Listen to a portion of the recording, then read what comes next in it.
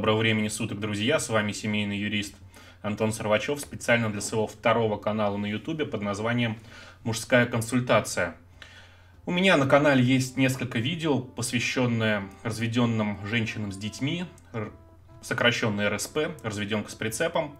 И я собрал практически все женские комментарии под этими видео. Ну, наверное, какие-то пропустил, но не суть важно. И сейчас мы с вами почитаем эти женские комментарии, обсудим их.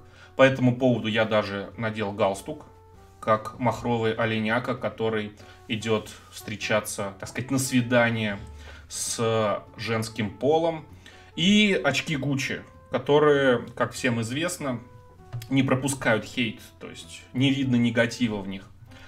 Итак, я думаю, можно приступить к к чтению. Любовь Аксюта пишет. Буду стараться читать с выражением. Ха! Любовь Аксюта пишет. Ха! Ну, девушка, женщина, там, не знаю, кто она, девочка, пришла на мужской канал и своим долгом и своим долгом решила тут же написать вот так. Ха! Скажу по секрету, РСП – это образ жизни и мысли – РСП, еще будучи без детей и мужа девственница, и уже РСП. Наконец-то из ваших спутанных речей я поняла, о чем вы. Дело в том, что мы живем не при первобытном строе. На детей возлагается больше, чем на мужа.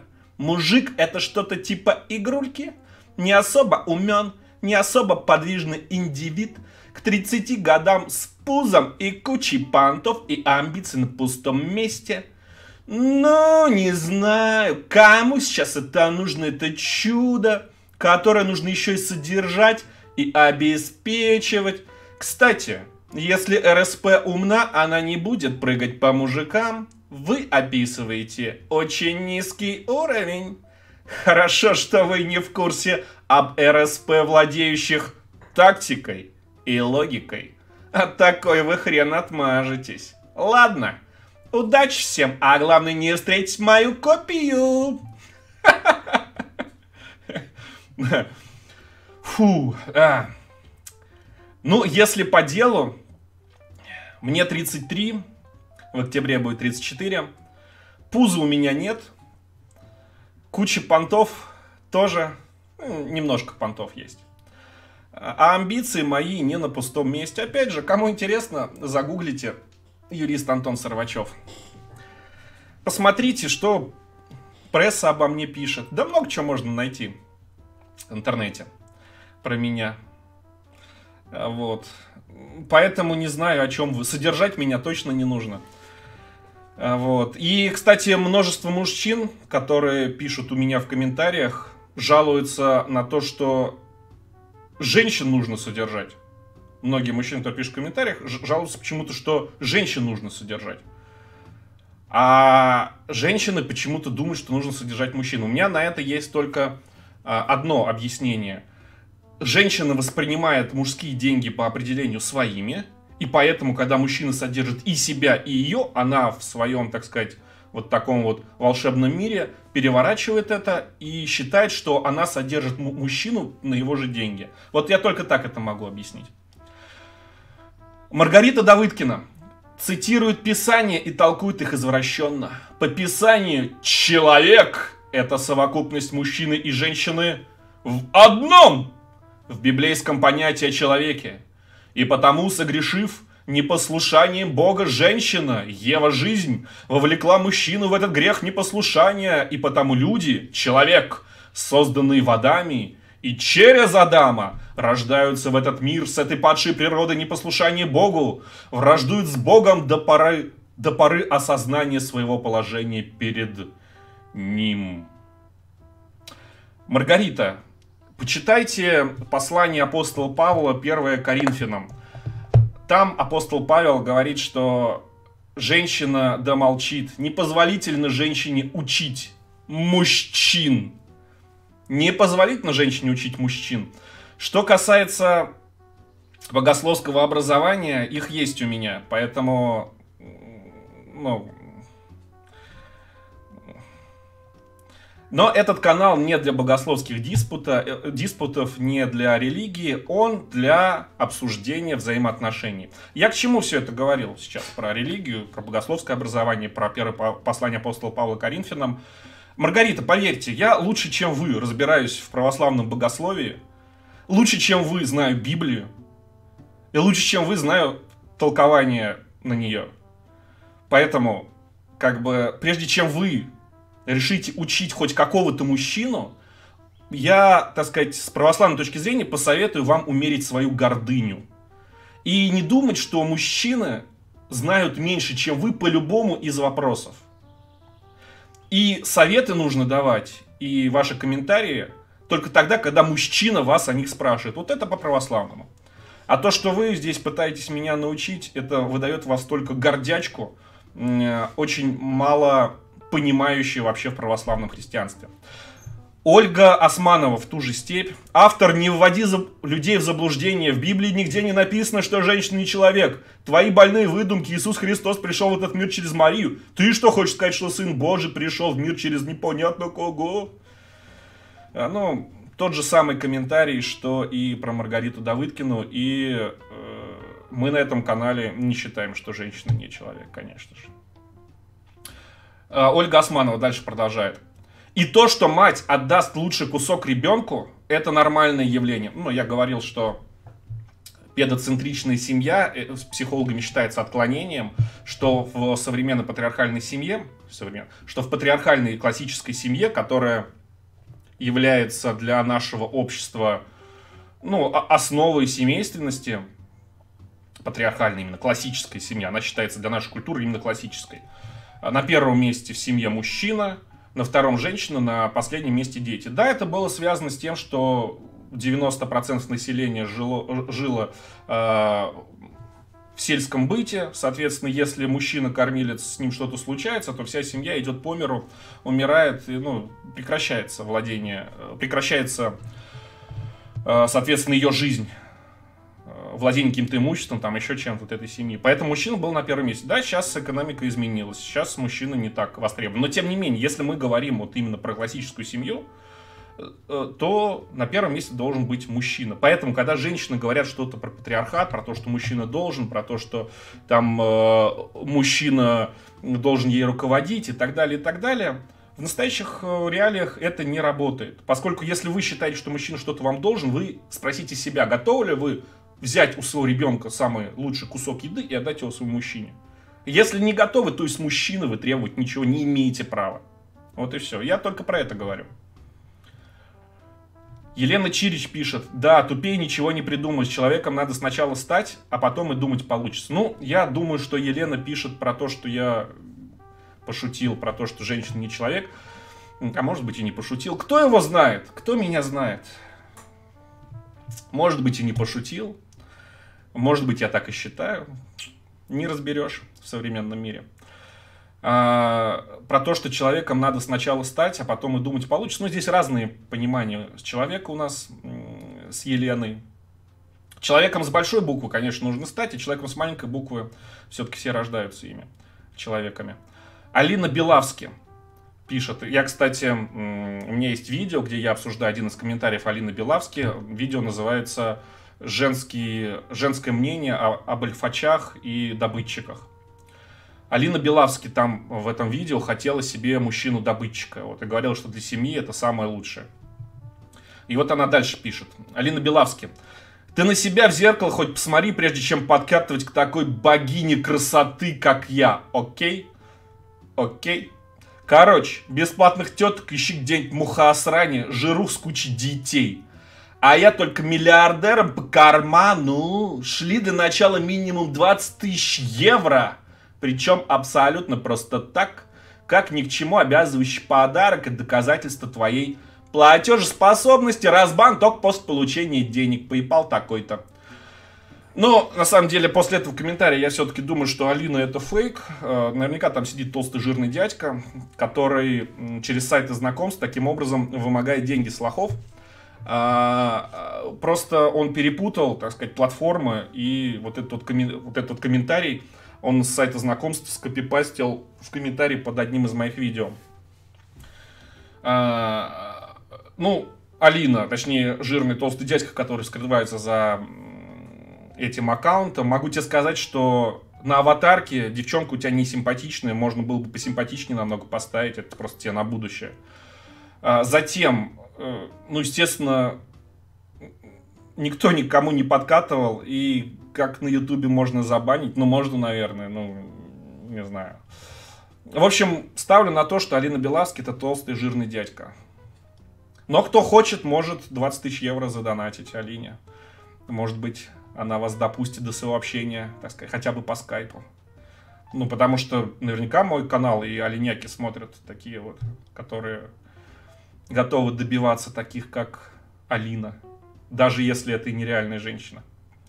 Жерки Валентина пишет. Все эти рассуждения чисто мужской эгоизм. Мою свекровь ее муж взял с тремя детьми и еще двоих родили. И до сих пор счастливо живут. Он никогда не делил твои мои дети, если нет дюбви, дюбви и взаимоуважения, то и родному не будет отца, свалит, лишь бы себе любимому было хорошо. Да, э, что называется, с волками выть, по волчьи, с волками жить, по волчьи выть. Про то, что вашу свекровь э, РСПХу, ее муж взял с тремя детьми, еще двоих родил. Я ему завидую, у меня бы столько здоровья бы не было. Вот. Трехжильный мужик. Кстати, напишите, мне интересно, во сколько умер муж и во сколько и жива ли еще свекровь. Просто мне интересно, насколько этот мужик трехжильный.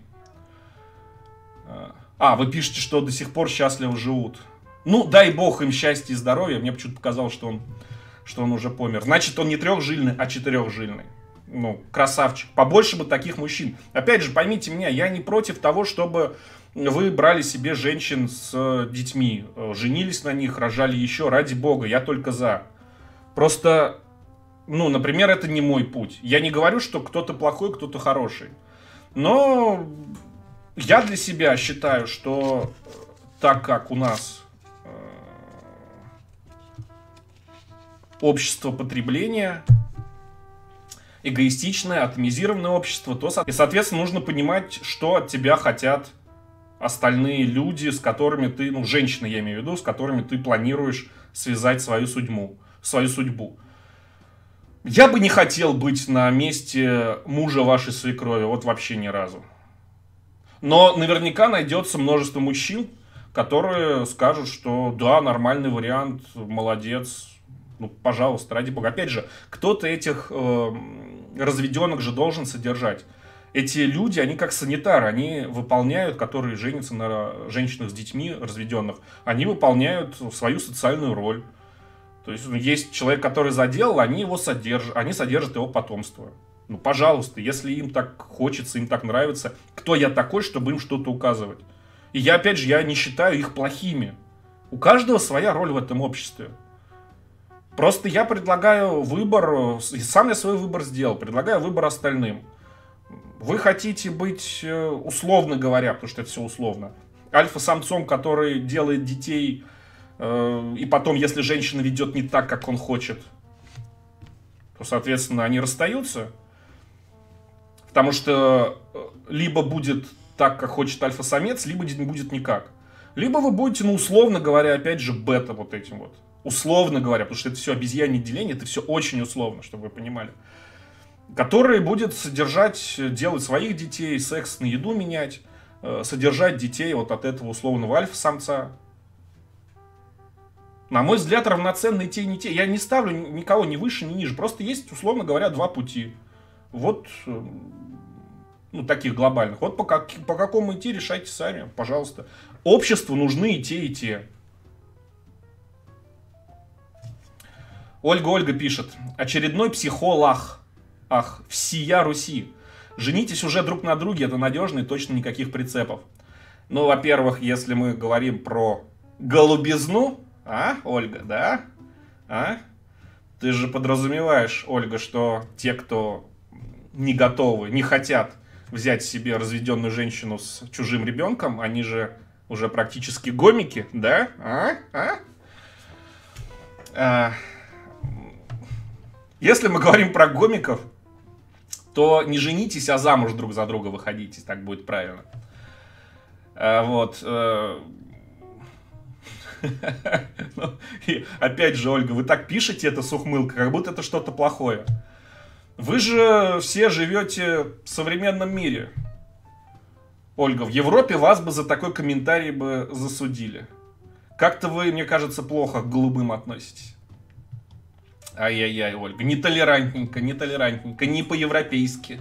Вы же наверняка себя мните современной европейской барышней, такой эмансипированной, независимой, которой мужик нах не нужен, только как вибратор там или банкомат для исполнения ее хотелок, да? Ну, это, правда, не европейское отношение к мужчинам, но тем не менее. Э, ну, не совсем европейское. Кстати, проиллюстрирую, что такое э, западная, ну, вот такая вот семья, западная равная семья. Это мужчина и женщина, когда идут в поход, одевают два рюкзака, и они, сука, два одинаково тяжелых. И они идут в поход. Поровну скидываются на все, поровну тянут детей, все поровну. Вот это вот, условно говоря, западная модель семьи. Уверяю вам, Оль, вас, Ольга, вам она не подойдет. Не подойдет. Что касается психолога, то я не психолог, я юрист семейный. Екатерина Нелюбова пишет, что за дичь и много знаков вопроса. Ну, во-первых, Екатерина, если вы не из деревни, то не чё, а что. Вот. А во-вторых, за дичь пишется вот так вот раздельно. Что? Вот так было бы правильно. Что за дичь? Вот, видите, смотрите как. И даже Word перестал подчеркивать. Учите русский язык, девушки. Они свободное пишет. Бедный, обиженный разведенками юрист. Больше глупости и дичи не слышал. Посмотрите мое видео о моем личном взаимоотношении с разведенками. Два раза в жизни сталкивался с разведенками. Ну, кто кого обидел, сложно сказать. Меня, я себя обиженным не считаю. А вот вас наверняка кто-то из мужчин обидел. Я уверен, они, что вы разведенка. И такие, как я, вас-то как раз и обижают. После нас вы себя чувствуете использованными шлюхами, которых страхнули, а детей на обеспечение не взяли. Грустно. Потому что такие, как вы, к сожалению, даже уже оргазм испытывать не способны, поскольку у вас все упирается в деньги и в заботу о вашем потомстве. И я не говорю, что это плохо. Наверняка вы найдете себе такого вот мужчинку, который с удовольствием будет вас содержать, а вы будете ему секс давать за еду и за содержание вас и детей. Сто процентов. Женя Жмуркина. Алименщики пусть задумаются о том, с кем они могут построить свои новые отношения, и как его новая жена будет довольна вашими детьми и встречей с ними в вашем общем доме. А свободным от детей от алиментов мужчине не стоит даже начинать эти отношения. К тому же вопрос жилья стал для многих очень серьезно. Если у РПС, у РСП, есть свое жилье и ребенок, то ей его нужны для последующего проживания. Знак вопроса. Если у РСП есть свое жилье и ребенок, то ей его нужны для последующего проживания. Зачем ей делить с вами свое жилье? Пускать вас на свою жилплощадь. Поэтому ей тоже надо задуматься об этих сомнительных отношениях на неизвестно какой период. Приходящий папа вам не нужен. Вам нужно искать хорошо оплачиваемую работу или свой бизнес, чтобы не ходить и не унижаться к мужчинам в материальном отношении. Юрист хотя бы назвал статью какую-то, я также могу сказать, что я великая пианистка вот у многих женщин, у них в голове, ну, знаете, чем отличается мужской мозг от женского, так, если схематично. А, мужской мозг, он состоит из отсеков, из ящичков таких. Вам нужна информация, открываете ящичек, достаете информацию, закрыли ящичек. Попользовались информацией, открыли ящичек, убрали, закрыли. Женский мозг это как спутанные наушники, спутанный клубок проводов, вот так вот. И по ним вот так вот, э, вот так вот, вот так вот. Э, и по ним вот так вот циркулирует ток все связано со всем, все вытекает из всего, понять невозможно. Вот этот вот поток сознания, вот Женя Жмуркин написала, я тоже понять не могу, что она имела в виду. Про то, что юрист хотя бы назвал статью какой-то, статьи я называю на своем основном канале с одноименным названием Антон Сорвачев. Если кто-то сомневается, что я юрист, пожалуйста, сайт сорвачев.ком. Заходите, ну, здесь мои выступления в СМИ, очень много выступлений. Можете посмотреть, кому, кому интересно. А, но тем не менее, ближе к делу. Заходите в раздел «Наша практика». И вот здесь вот решение судов. Открываете краткое описание дела, решение судов. В большинстве решений, процентов 90, есть моя фамилия. Моя фамилия и мои инициалы. Любое тыкаете, ну, за редким исключением, везде моя фамилия есть. Можете зайти на сайт этих судов, посмотреть эти решения, так сказать, на сайтах этих судов. Я практикующий юрист, и мне уже доказывать ничего не нужно. Если хотите, пожалуйста, вот доказательства все на лицо. Больше из этого потока сознания, бреда, я ничего не, ничего не понял. Женя, вы как-то пишите хотя бы маленьким предложением, если не можете мысль изложить э, таким полноценным абзацем, абзацем, пишите маленькими там 2-3 предложения, вам хватит, серьезно, будет понятно. Я не понимаю, у вас здесь, вы вроде бы начали писать про то, что у РСП есть свое жилье ребенок, зачем вы ей нужны для последующего проживания, и тут же э, начали писать советы РСП. То есть вы сначала пишете какие-то советы, непонятные мысли о мужчинах, затем у вас как это без перехода перетекает в то, что вы даете советы РСП, и затем все заканчивается тем, что э, э, я не юрист. Как, откуда это? Вот реально спутанный клубок проводов, по которым мысли движутся в беспорядочном, абсолютно в хаотичном таком порядке. Forgiven Слав пишет, а что делать с ОБЧ? Озлобленные бесполезные члены. Коих сейчас стало много. Рассказываю для вас специально Forgiven Слав. Если вы видите озлобленный бесполезный член, берете его в рот и сосете, пока он не станет добрым и полезным. Это, это верняк. Это единственный рецепт, который я вам могу дать, что сделать со злобленным бесполезным членом. Даша Сафронова пишет, я тоже не выйду замуж за мужчину, у которого есть дети от первого брака. Вот Даша молодец, написала честно, без оскорблений, даже ну, почти грамотно. Вот, вот Даша, Даша красотка.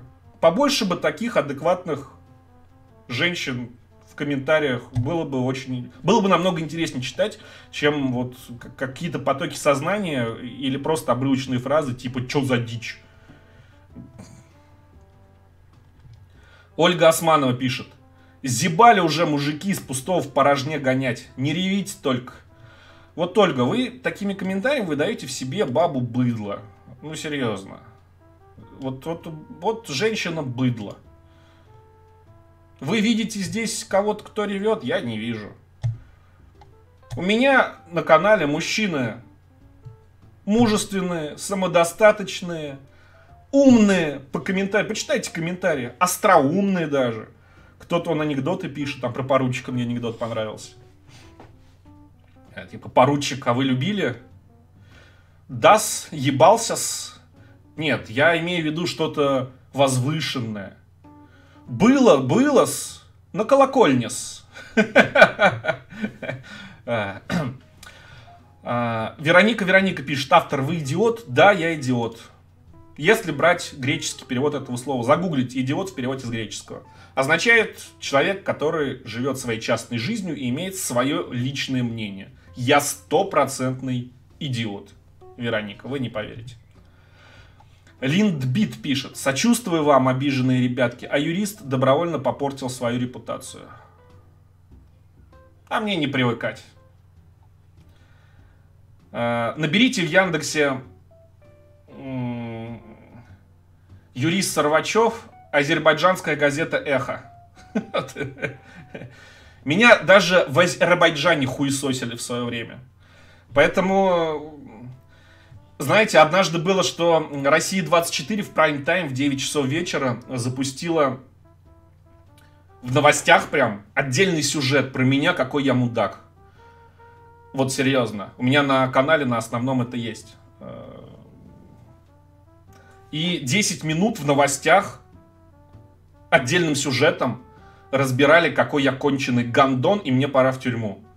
Поэтому ваши вот эти вот потуги про, добро, про то, что я какую-то репутацию свою подпортил, еще что-то.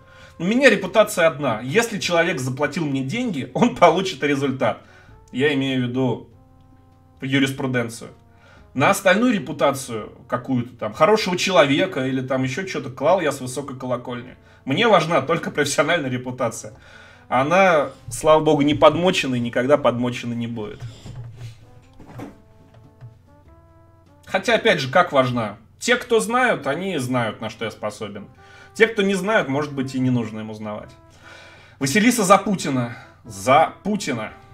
Ура! Парню наконец-то повезло, он лишился девственности, пишет Василиса под моим видео э, о моих личных отношениях с РСП. Василиса, откуда вы знаете? Может быть, я наврал. Может быть, у меня с этой РСПшкой никогда и не было секса. Василиса, я еще девственник. Вот я вам, так сказать, на голубом глазу говорю, даже очки подниму, чтобы вы посмотрели в мои честные глаза. Я еще девственник. Ради того, чтобы лишиться этой самой девственности, согласен на все. Содержать детей, оленить, работать на вас годами, лишь бы вы дали мне обещание своей писечки, просто ее запах вот этот вот. Я же девственник. Любовь Аксюта пишет. Ну вот и приплыли окно, аверт... окно Авертона в неглиже. Мужики, которые падки на женские писи оленя. А мужик проститня, эгоист, садист, не имеющий чувств. Кстати, юристы тоже могут страдать различными психоотклонениями. Вот и плавный переход к, к перостии. Поздравляю вас, мальчики прицепы. Это вот э, то же самое, что и здесь, уже не Жмуркин, абсолютно поток сознания, бессвязный. Я не понимаю, что хочет сказать Любовь Аксют. Я увидел знакомое словосочетание «окно Авертона». Могу сделать отдельное видео, хотя уже там куча всего рассказывать, что такое окно Авертона. Любовь, по поверьте, вы не знаете, что такое окно Авертона. Вы откуда-то это услышали, наверное, от Михалкова. Он про это как-то сюжет даже делал. Это в свое время было в такой в интеллигентной среде очень модно про окно Авертона обсуждать. А вот, э, вы что-то услышали краем уха, поняли, что это плохо, и теперь это везде вставляете. Любовь, ну не позорьтесь, вы не знаете, что такое окно Авертона. Не пытайтесь уесть или учить мужчин, поверьте. Любой среднего ума мужчинка в 10 раз умнее вас. Ну просто... Вы просто себя вот такими вот вставками не к месту. Вы просто расписываете в том, что вы по уму ниже среднего. Вы вообще не понимаете, о чем говорите. Я вас тоже поздравляю, и вы можете... Знаете, на самом деле, вот женщинам я порекомендую, заведите себе какой-нибудь текстовый блог в лайв-журнале, там, не знаю, во ВКонтакте, и пишите хотя бы свои мысли, хотя бы 10 предложений в день. Вот ваши мысли, эмоции, чувства, что называется, распишитесь, и вы, девушки, женщины, бабоньки, вы сможете текстом излагать свои мысли, потому что у половины из вас, если уже два предложения, а уж не говорю три или четыре, если вы э, пишете свою мысль в двух, трех, четырех предложениях, у вас видно, что вы не умеете эту свою мысль выразить в тексте. Научитесь этому, а учиться очень просто. Пишите где-нибудь в блоге в каком-нибудь своем 10 предложений в день одним абзацем. Что с вами происходит, ваши переживания, там еще что-то, что вам интересно о, том, о чем вам интересно писать. Пишите. И вы распишитесь, тогда мы с вами подискутируем. Либо можете написать мне во ВКонтакте. С любой из вас я с удовольствием по скайпу созвонюсь под запись. И потом, если получится интересный диалог, выложу его на этом канале. Почему нет? Я с радостью, если вам э, изъясняться словами проще. Но большинство... Эм, проблема в том, что большинство женщин говорить нормально не умеют. То есть вот этот вот клубок проводов, по которым циркулирует мысль бесконечная, это такой вот поток сознания э, без начала и без конца. Это очень сложно воспринимать. Ольга Ольга пишет, откуда у успешного юриста столько свободного времени записывать всякую ахинею? Во-первых, не ахинею, а грамотные вещи. Во-вторых, именно потому что я успешный юрист, у меня есть свободное время. Как говорил Стив, Стив Джобс, работать нужно не по 18 часов в день, а головой. Это неуспешные юристы работают по 18 часов в день и не имеют свободного времени. У меня все хорошо, не волнуйтесь за меня. Хотя, я думаю, вы не волнуетесь, просто хотели меня, так сказать, подъебать. А? А, Ольга? Что-то у вас свербит. Что-то у вас свербит. Ольга, откуда у вас столько свободного времени бегать по мужским каналам и писать всякую чушь? Ну, серьезно. Идите лучше своему мужчине минет сделайте. Если у вас нет мужчины, тогда все понятно. но я вам помочь не смогу. Хотя нет, смогу, но не захочу, вот скажем так. Ольга, я не хочу вам помогать. Ирина Андреева пишет, ущербные измышления не до юриста и не до психолога. Мишель Карамель. Мишель Карамель. Мне иногда умиляет женский ник, знаете, там Мишель Карамель, котеночек, там какая-нибудь киса клубника. А знаете, а, а на самом деле Мишель Карамель, 45 лет, мать троих детей, а в интернете она все еще Мишель Карамель. Фу, а чё такие шикарные мужчины? А чё? Мишель, если вы не из деревни, то ничего, а что? А что такие шикарные, и ничто даже в данном предложении, почему? Вот, это правильно. А почему такие шикарные мужчины без детей и семьи? Про Меганыча, старого озлобленного, бездетного неудачника, которым явно со 45 вообще насмешили. Не знаю, я ничего не говорил про Меганыча, ничего. Видно, у вас на него зуб, ну, идите к нему и напишите ему, что он озлобленный, бездетный неудачник. Я-то здесь при чем? Тоже вот... И опять же, Почему такие шикарные мужчины без детей и семьи? Потому что мы шикарны. В современных условиях под семьей понимается обеспечение женщины и ее детей, даже не детей того мужчины, с кем она живет. Такая семья шикарным мужчинам не нужна. Шикарным мужчинам нужны красотки, которые кувыркают с ними в постели, исполняют их прихоти. И когда надоедают, они меняют их на других красоток. В современном обществе так живут шикарные мужчины. Так живем мы на этом канале. Так что, Мишель Карамель, семья это ценность для вас, для женщин, поскольку у вас семья равно ваше обеспечение мужиком. Не мужчиной, а мужиком. Нам, шикарным мужчинам, такая семья не нужна.